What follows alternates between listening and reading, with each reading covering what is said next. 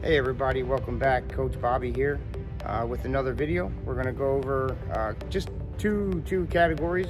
I'm gonna go back over the passing drills that you do uh, either with a partner or a solid wall surface. I'll show you with mine, it's coming up against the, the glass wall here at the Y. And I'll show you some different ways you can do that different techniques, different progressions that you're gonna wanna do to sharpen your skills. So the first one I'll show you will be the single leg double tap, okay? So you're gonna take one leg at a time, especially if you have a partner, it's fine. If you're using the wall, same thing. So you're gonna come up and you're gonna hit the ball to the wall. It's gonna come back to you. What I want you to do is practice stopping the ball and then you're gonna hit it back. Stopping the ball, hitting it back. It should be continuous. You should be able to do 20 to 25 real quick, and then you're gonna switch to the other side. So you're gonna use your right leg, and then, you know, most kids are right footed, so what you're gonna wanna do is make sure you're using that non-dominant leg. You're, not, you're not gonna wanna just practice with your dominant foot, even though it's gonna work better for you, you still gotta build up that other side. So you're gonna do 20 to 25 on each leg right leg, kick it to the wall. As it when it bounces back, just under control. Stop. Boom, hit it back. Okay. And then what you're gonna do after that is now we're gonna do it with one touch. So when the ball comes back to you, you want it under control. You want it at good speed so you can hit it. You don't want to hit it too hard so that you miss it and you have to chase it down. You want it to come back to you at good speed and then practice hitting that ball straight back and forth. You want it in a straight line on the ground too. You don't want the ball popping up in the air because that when you're looking to do a pass, that's not good form. You want that on the ground because when you're passing to your teammate, you want them to be able to receive the ball. If you're kicking the ball so hard that it's flying up and it's hitting them in the stomach, that's no good. The kid's just either going to move out of the way or he's going to get hurt when the ball hits him and then the other team gets it. So you want it under control. So on the one touch, same thing, 20 to 25 each leg. Left foot 20, 25, right foot 20, 25. And then now what we'll do, okay, so now we've done just the basic two touch and one touch. So now what we're gonna do is transfer. There's two ways to do it. So when I hit the ball to the wall and it comes back, instead of stopping it, I'm gonna use my left foot, the same foot I kicked it with, and I'm gonna redirect it across my body and then I'm gonna hit it with my right foot. So now, basically when the ball comes back to me, I'm transferring it to the other foot. The ball should almost always be in motion. So when I kick it to the wall, come back, over, wall, back, over. So it's basically making a U shape right, right um, with me in the wall. But this will help you, and you can use this during the game almost at any time. When the ball's coming toward you, if you just need a little bit of space, boom, just touch it over. And now you have a little bit extra space. Now you can hit the ball, you can shoot, whatever you want to do. But for this drill, we're just going to be passing. Also, it's very good for young kids if they're not good with one foot, usually. It's the left foot, like I said. You don't want them to be stopping the ball completely, but since it's on their left foot, running in a big circle around the ball, to get to their right foot. You want to teach them to redirect the ball to their other foot. It's so much faster, it's so much easier, and if you're running around the ball to get to your dominant foot, it gives the defense too much time to take the ball from you. So this is a great skill for you soccer. All right, so now the tricky part on this one is instead of redirecting it in front of you, if you want if you've gotten to the point where those progressions are completed you feel comfortable like you've mastered those skills now you can let the ball go between your legs and instead of transferring it in front of you you're going to let the ball go between your legs and then you're going to bring your foot behind you just to redirect it enough to the other side stop and then hit it back to the wall. I'll show you. All right everybody so what we're going to do is we're going to do some dribbling now so basically what you're gonna wanna do um, as the kids get older and they're not just doing the kick and run thing, because uh, U4 is is just chaos. So uh, just a side note, side tip for uh, any coaches out there doing U4, just hang in there. It's, uh, it's just organized chaos. You're just out there making sure the kids have fun. So um, these techniques and these special moves and drills don't don't expect too much. They're just out there running and kicking. Uh, as long as they keep coming back and staying on the field, you've done your job.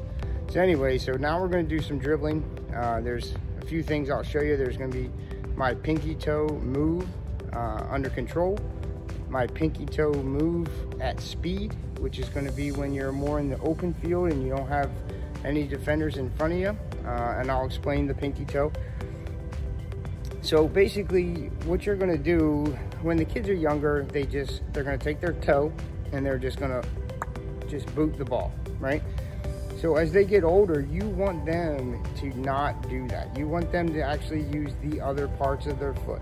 The inside of the part of the foot for passing, the top of the, the foot for shooting, and then that bridge right where the laces are is for, you know, long passes and clearing.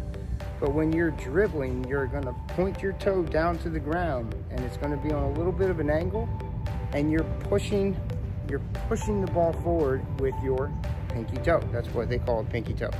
So anyway, when I dribble, you'll see it. It's just you when you're when you're confined and you're trying to stay under control, you want to touch the ball every couple of steps. Um, versus when you're out in the open and you need to run faster to, to get to the goal, you're going to be dribbling every four to five steps, six to seven steps. You want the ball to travel further and then you can run faster as you catch it. So we'll do, I'll show you those two. And then what we'll do is I'll show you two step overs. You have the, the outside step over and then the inside. Um, these are just, you know, ball fakes, just like in basketball and other sports. You, you got to sell it. You want your body to, you want the kids to learn it's it's very dramatic. You want to you want the defender to actually believe you're going a certain direction.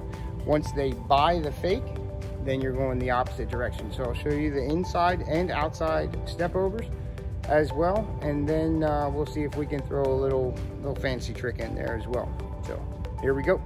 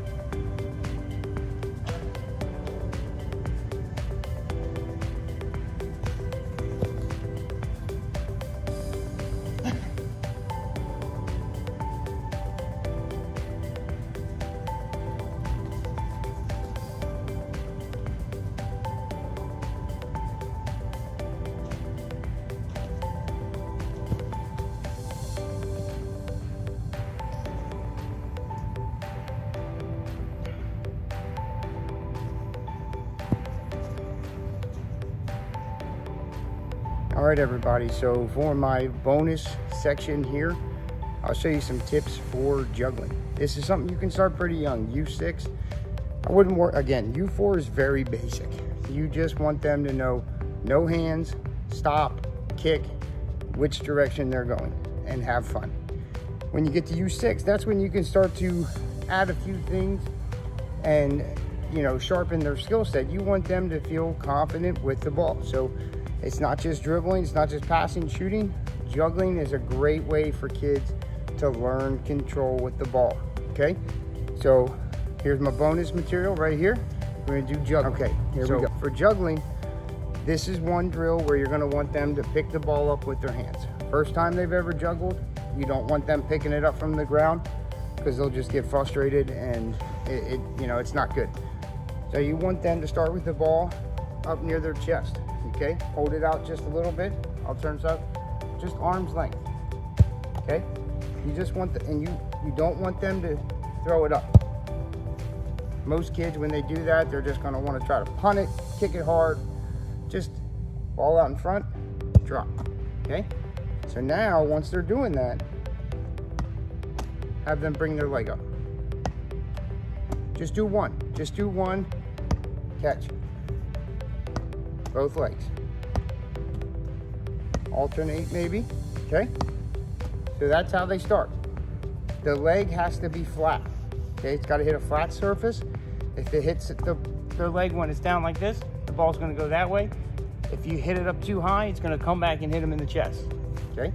Okay, so now once they've done one, just progress to more, okay? One, right? One, one, two. And you can alternate, one, two, one, two, three. Okay, the legs, the knees, the thighs, that's the easiest one, okay? You want them to be able to, it's all about building confidence. S celebrate every success, encourage when they make mistakes. Otherwise, they'll just be like, you know what? I'm not good at it. I don't like soccer. I don't want to do it anymore. You want them to keep coming back. Um, you want them to have fun. You want them to enjoy it. It's a great game for kids to play. Uh, they can play it for a long time. It's a, it's a great sport. So after that, what you can do is have them try to drop it to their foot. Okay, that's much, much harder. Now, once they do that a little bit, then from there, they just go. They just want to try to string more they can together. When they're using their feet, they're going to want their toe pointed backwards just a little bit. I know that's different than the thigh. But with their foot, they want the ball to kind of spin back so it's staying in place. That's the gist of it. All right. Thanks for tuning in, Bocker Soccer. Uh, please like, share, subscribe to the channel. Please spread it. Uh, if you can, share it on your, you know, Facebook, share it on uh, Twitter, whatever you got. That way I can try to get this uh, channel out there and I can uh, try to get some exposure and help some uh, coaches out there. See you next time.